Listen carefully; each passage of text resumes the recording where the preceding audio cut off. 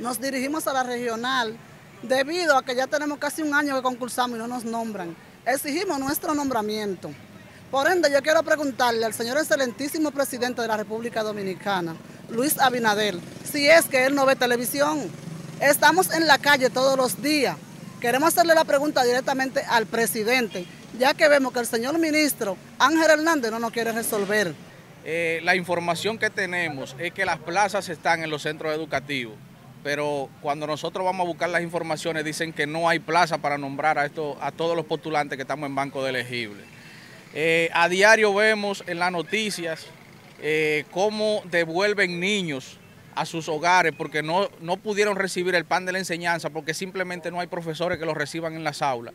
Y entonces el Ministerio de Educación con un banco de elegibles y no lo nombran.